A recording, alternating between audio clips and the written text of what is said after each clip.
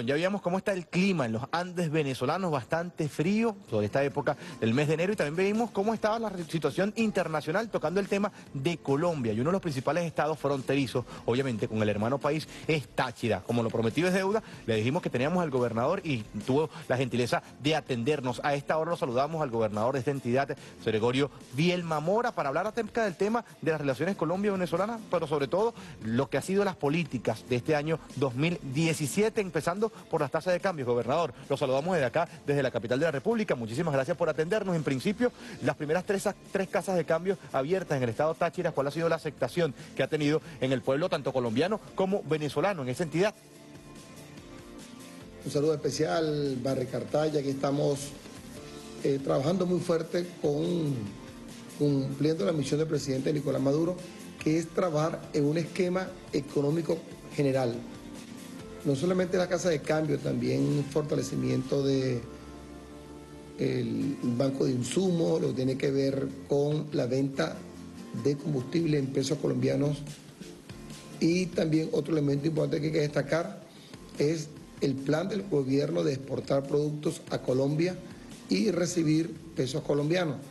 Todo un plan estratégico para poder nosotros eh, luchar contra la guerra económica y el Táchira se está dando hasta el día de hoy, el día 24 de enero, que nos entregan las casas de cambio, las transacciones que se han dado, se han ejecutado 3.490 transacciones, más de un millón de dólares americanos, que son transformados en pesos colombianos. Estamos hablando de 2.938 millones de pesos colombianos, y lo han recibido personas naturales donde llevan sus documentos, por ejemplo, tiene que ir la persona, no puede mandar a nadie, o un documento notariado registrado, es personal la transacción.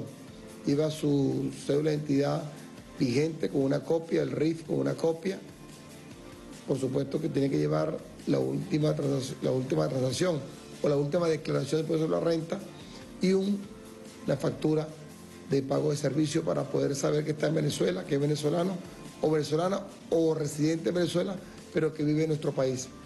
Se han manejado todo muy bien, las colas eh, son bastante, ha recibido una buena aceptación por parte de los venezolanos y ahí podemos ver, por ejemplo, los pasos para poder hacerlo.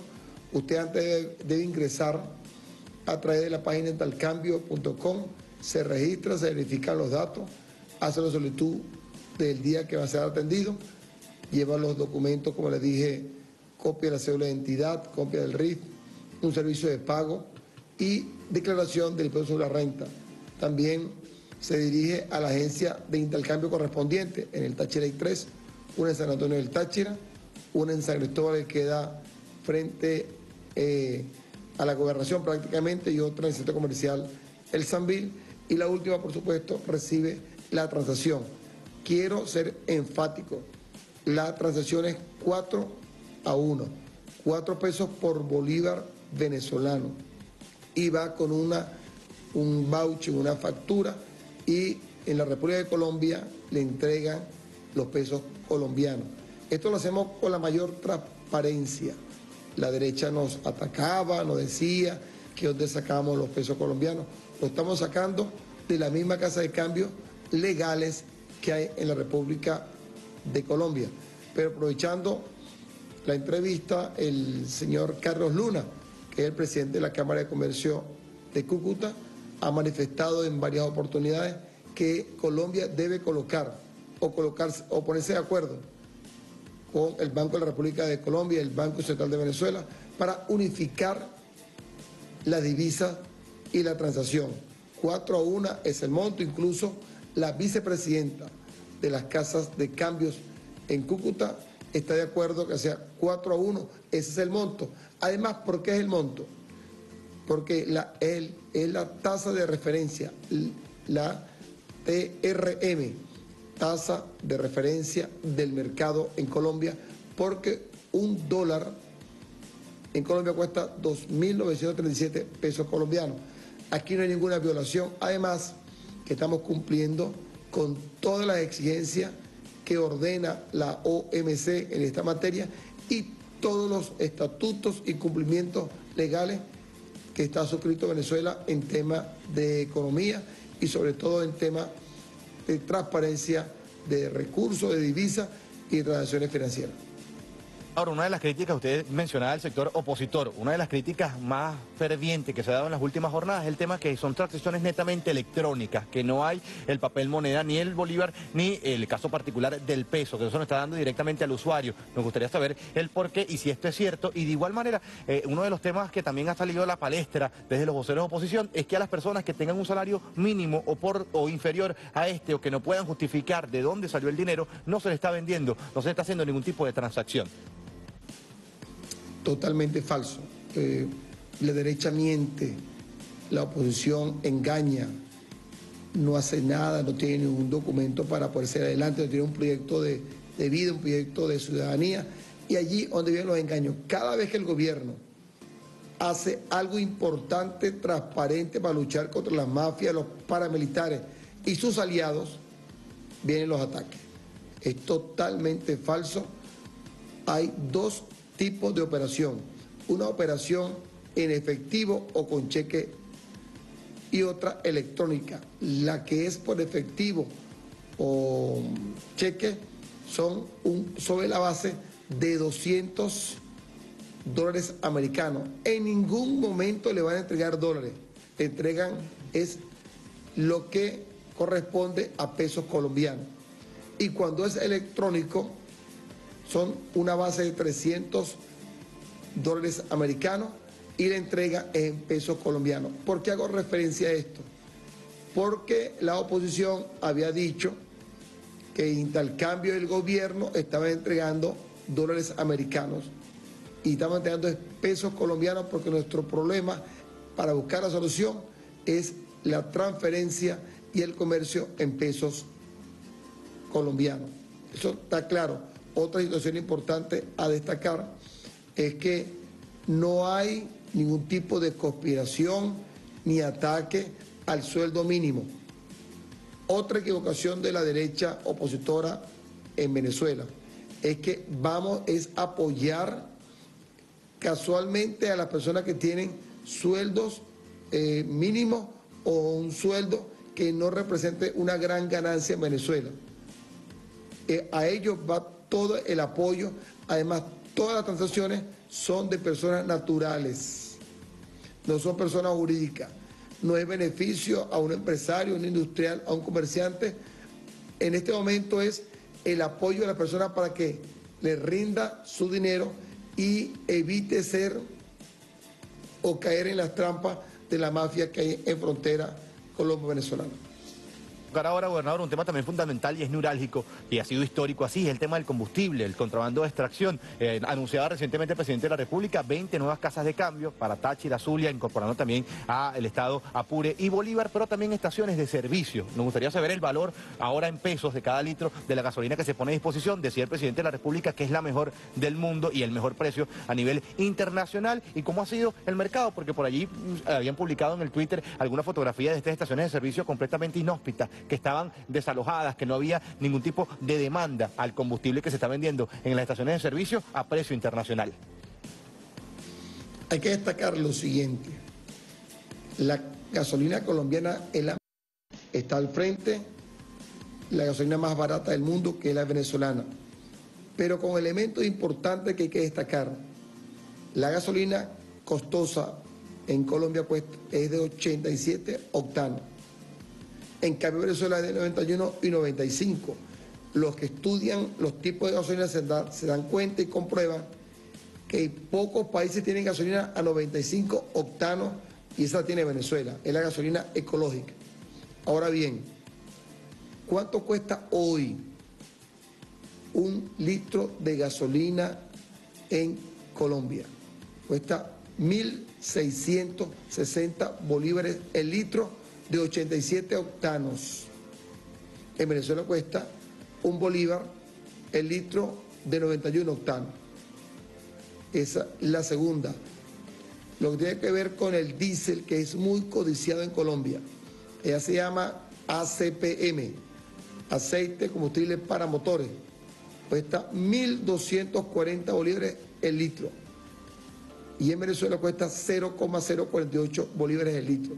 Ahí está el problema, la dificultad y todas las situaciones de frontera, del tema de la mafia, de los sicariatos, de los paramilitares, pasa por el tema del combustible. Eso da más que la droga, eso por supuesto es un elemento que es protegido por eh, personeros en la frontera y que hace un daño terrible al país. Por eso que el presidente Nicolás Maduro ofrece a Colombia la venta de combustible de 91 octanos y 95 en peso colombiano, más barato, sobre todo transparente, nos quitamos la mafia encima, nos quitamos la inseguridad y Venezuela recibe dinero que se va encontrando para Colombia. No hemos podido encontrarlo, el presidente ha pedido, usted lo ha podido notar, a esos llamadas, llamadas telefónicas con el objeto de que venga Colombia a mesa de trabajo para hablar no solamente del combustible, sino también del lubricante, producto de la petroquímica que le queremos vender y fortalecer las ciudades comerciales que están en frontera, en la zona económica de frontera de Pedro María Ureña y del municipio Bolívar. Muchas cosas hacemos, pero debe haber una conciencia de los venezolanos y las venezolanas para poder ayudar y atender ese llamado afectuoso, respetuoso, transparente y de buen comercio del presidente Nicolás Maduro con la República de Colombia. Bueno, ahora 7 y 19 minutos, tenemos que hacer la pausa. Hay muchos temas más que tenemos, nos gustaría abordar con usted. Luego de la siguiente pausa la hablamos, obviamente nos limitamos a que continúe en sintonía, que exprese su opinión a través de las redes sociales, Casa de Cambio, estaciones de servicio, el tema fronterizo y sobre todo las relaciones binacionales entre Colombia y Venezuela. Ya venimos con más.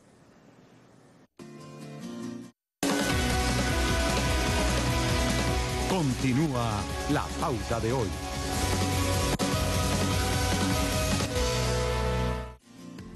7.24 minutos de la mañana seguimos en la pauta de hoy. la pregunta que lanzábamos al inicio tiene que ver con el tema que se está conversando con el gobernador del estado Táchira. ¿Considera eh, que el gobierno de Colombia está promoviendo está este, eh, promoviendo el contrabando y ataque a nuestra moneda? ¿De qué manera tiene que actuar Venezuela? Varias interacciones ya la hemos tenido hasta esta hora. José Medina nos dice hay que anular el convenio cambiario que se tiene con Colombia para eliminarle el apoyo a dólar today. También nos dice Elías Cabeza, Colombia nunca ha estado a favor de las políticas fronterizas mientras no se vea afectada. Cuando se afecta, sale a su defensa.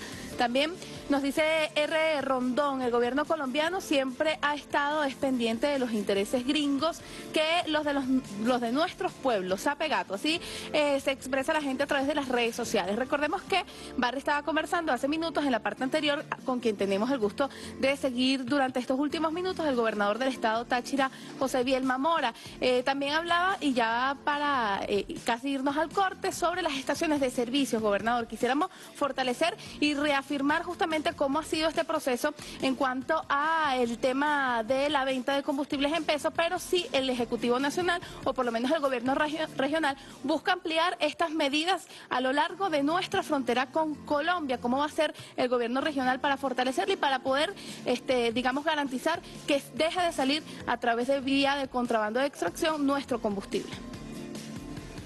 Verónica, buenos días, bienvenido. Tu pregunta es muy interesante hay que manejarla con mucho cuidado. Y como la manejamos con cuidado, la vamos a manejar con las leyes. Efectivamente, el gobierno de Colombia ha hecho leyes para perjudicar y de alguna manera promover el contrabando. Yo quiero permitirme en tu programa leer algunos decretos de Colombia que establecen elementos para promover el contrabando en Colombia. Por ejemplo, Artículo 1 del decreto 2195, ley 618 del año 2001. Establece el artículo 1 que Ecopetrol podrá ceder o contratar total o particularmente con terceros la importación, transporte, almacenamiento, distribución o venta de los combustibles. El artículo 6 dice, un tercero es definido como toda persona natural o jurídica debidamente registrada por el Ministerio de Minas y Energía de Colombia.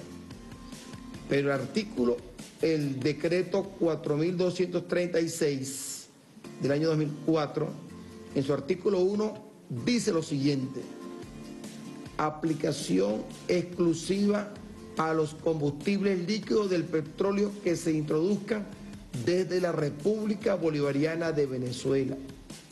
Y el artículo 5 dice lo siguiente, centros de acopio deberán estar ubicados en sitios aledaños al paso o cruce de frontera de los municipios San José de Cúcuta, Los Patios, Puerto Santander y Villa del Rosario, habilitados como lugares de ingreso por la DIAN. Y la DIAN es la Dirección de Impuestos de Aduanas Nacionales de Colombia. Es como decir el señal. Hay otros decretos, 2338, 2339, etcétera, del año 2004, que están colocados uno frente al otro. Por ejemplo, Departamento de La Guajira es Consulia, Departamento de Norte Santander es con mm, el Táchira, pero este que está aquí es importantísimo. Permítame leerle esta ley. Ley 1762 del año 2015, artículo 7, favorecimiento de contrabando de hidrocarburos o sus derivados. Hidrocarburos o sus derivados que hayan ingresado al país ilegalmente o que se hayan descargado en lugares de arribo sin cumplimiento de la normativa aduanera. Eso lo establece Colombia y por supuesto hay una promoción, podríamos decir, con mucho cuidado diplomática para tener combustible de alta calidad muy barato y poder abastecer sus vehículos en Colombia. Pero hay algo importante. El día de ayer, el periódico La Opinión de Cúcuta establece que por lo menos hay 125 mil vehículos con placas venezolanas el departamento del norte de Santander, producto de años de contrabando, vehículo, por supuesto, de buena calidad, muy barato, pero que tenía la oportunidad de venir a Venezuela con plaga colombiana a cargar de combustible el más barato y el mejor del mundo. Eso nos acaba los segundos en este programa, pero nos gustaría la invitación final, tomando en cuenta el anuncio del presidente de la República, las casas de cambio de estaciones de servicio, de esas 20 eh, casas de cambio y 11 estaciones de servicio, cuántas van a ser en el estado Táchira y el tema del paso fronterizo, cómo se ha agilizado en las últimas jornadas. Primero que el paso fronterizo ocurre permanentemente, en este momento tiene cerrada la República de Colombia la frontera, al no permitir el paso de vehículos a Venezuela. El gobierno está insistiendo que se pueda aperturar la frontera. Con respecto a la casa de cambio, hay tres en el estado Táchira, eh, deben venir cuatro más para ser siete. Y eh, en el aspecto de la lucha contra el contrabando, hemos sido muy férreos, muy severos. El señor general de división, Carlos Llanes Figueredo y su equipo, todos los días captura entre 8 mil a 22 mil litros de combustible diario en frontera, porque es un delito muy lucrativo que es favorecido en la hermana República de Colombia. Muchísimas gracias, gobernador José Gregorio Vilma Mora. Un gran abrazo para toda la entidad, para todos los tachirenses y obviamente para todo el equipo de trabajo de la gobernación. Así que van a haber siete casas de cambio, estaciones de servicio prestas a el gobierno de Colombia, el pueblo colombiano, mejor dicho, para el buen servicio. Obviamente, la mejor gasolina al mejor precio internacional para hacer